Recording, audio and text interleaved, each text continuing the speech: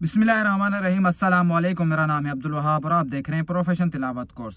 YouTube Y studio में एक नया ऑप्शन दिया हुआ यूट्यूब ने, जिसको लेके कुछ लोग काफ़ी परेशान हैं। मुझे मैसेज भी आए थे कि, सर, इस पर एक वीडियो बना दें कि इसका तरीक़ेकार क्या है, इसका इस्तेमाल, सही इस्तेमाल कैसे करना है? तो बिना वक्त जाए कि वीडियो छोटी बनेगी, आपने कंप्लीट देखनी, ताकि आप लोगों का ये मसला भी यहाँ पे हल हो जाए कि आपने यस करना है या नो करना है। अगर यस करना है तो किस सूरत में करना है नो करना है तो किस सूरत में करना है। तो चलते हैं मोबाइल की स्क्रीन पर और हम सीखते हैं कि हमने इसका कैसे इस्तेमाल करना है। लेकिन उससे पहले अगर आप मेरे चैनल पर नए हैं तो प्लीज़ सब्सक्राइब कर दें और लाइक और कमेंट्स फ़ौरन से पहले कर दें और बेल आइकन को लाजमी दबा दें ताकि मेरी इस तरह की इन्फॉर्मेशन वीडियो हर किस्म के आप लोगों तक पहुँच सके। तो चलते हैं मोबाइल की स्क्रीन पे और हम इस चीज़ को समझते हैं आज। बहुत ज़रूरी होती हैं ये चीज़ें। नहीं तो आप लोगों का वही वायलेशन में आ जाएगा डीमोनेटाइजेशन चैनल हो जाता है मोनेटाइजेशन होता है ये छोटी छोटी चीज़ें बहुत ज़्यादा अहमियत रखती हैं। तो मैं आ गया मोबाइल की स्क्रीन पे और अपना वाई टी स्टूडियो जिस तरह आप खोलते हैं। तो आप लोगों को ये ऑप्शन एक्स्ट्रा जो नया यूट्यूब का है, ये आपको नज़र आता है जब आप वीडियो अपलोड करते हैं।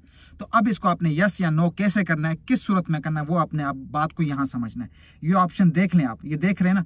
तो इस पे अब ये देखें यस या नो मैंने नो किया हुआ अब इसका मतलब क्या है? आपको नो कैसे करना है यस कैसे करना है?